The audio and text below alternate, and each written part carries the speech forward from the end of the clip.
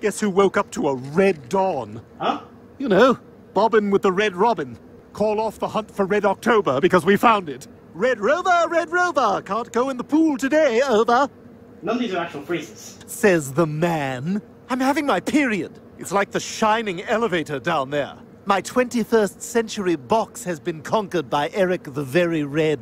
Yeah, this is getting dangerously close to Will and Grace. But Stewie, if you're really bleeding down there, it's because you hurt yourself in the slippery slide, remember?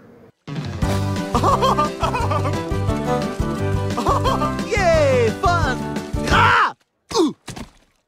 Ah, public humiliation. You must be a United States Senator. Good one, Joe. Oh, yeah? If I'm not having my period, then why am I drinking herbal tea from a large earthenware mug with no handle on it? Stewie, boys don't even get periods. Matthew, it's 2022. There's no such thing as a boy anymore, or a girl. Just a vast sea of chubby theys and thems, so coddled by their sanctimonious woke parents who think activism is virtue signaling on Instagram. If Martin Luther King could come back and see what they were doing in his name, he'd never stop throwing up. Maybe you want your period.